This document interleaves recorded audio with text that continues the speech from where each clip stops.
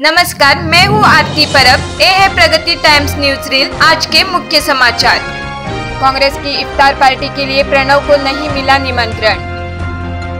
मोदी राष्ट्रपति से मिले विदेश के दौरों की जानकारी दी। राजनाथ ने दिए प्रधानमंत्री की सुरक्षा बढ़ाने के निर्देश। गुटेरेस ने राजनयिक संबंध सुधारने में अमेरिका और उत्तर कोरिया के प्रयासों को सराहा।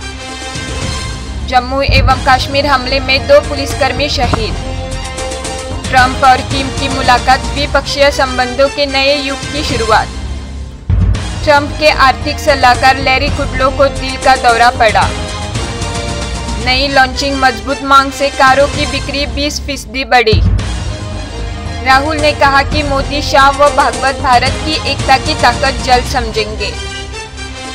सीबीआई को फरार हीरा कारोबारी नीरव मोदी के ठिकाने के बारे में कोई जानकारी नहीं है।